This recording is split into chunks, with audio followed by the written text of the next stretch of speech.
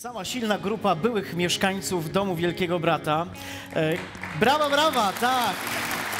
E, Kasia, Magda, Tomek, e, Angelika, powiedzcie mi, jaka jest atmosfera e, w momencie, kiedy wchodzicie do pokoju zwierzeń, potem wychodzicie, uśmiechy, podgwizdujecie sobie.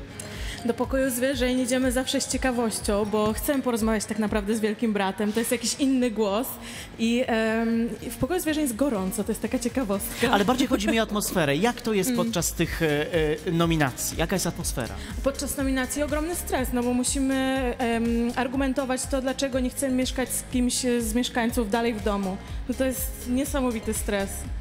E, konflikt e, Igora z Łukaszem. Ja w pewnym momencie miałem wrażenie, że to się skończy. Kiedy Łukasz wszedł drugi raz, tam były te wspólne treningi, a to cały czas narasta. Ja ci powiem szczerze, że teraz y, w tym tygodniu w ogóle nie śledziłam, co się działo. Skupiłam się tutaj na rodzinie i na moich znajomych, także nie wiem, o co się rozchodzi za bardzo i y, chcę że zobaczyć mniej więcej, jak to było. Ale patrząc w środku, jak byłaś jeszcze w środku, ten konflikt cały czas narastał. A i myślę, że bez przesady, nie róbmy z tego tutaj jakiejś akcji, także myślę, że się dogadamy. No właśnie, Kasia. Ja myślę, że tam jest gorąco między nimi, że wewnątrz, e, jakby i wewnątrz Łukasza, i wewnątrz Igora są jakieś negatywne emocje, oni są źle do siebie nastawieni. Mam wrażenie, że Łukasz próbował to jakoś załagodzić, e, ale tam nadal e, idzie walka na noże mimo wszystko. Angelika, krótkie pytanie, krótka odpowiedź. Konflikt Łukasza z Igorem.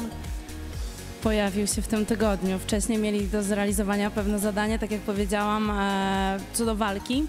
E, wszystko było ok, ale teraz już zaczęła się gra i widać ten konflikt dość ostro.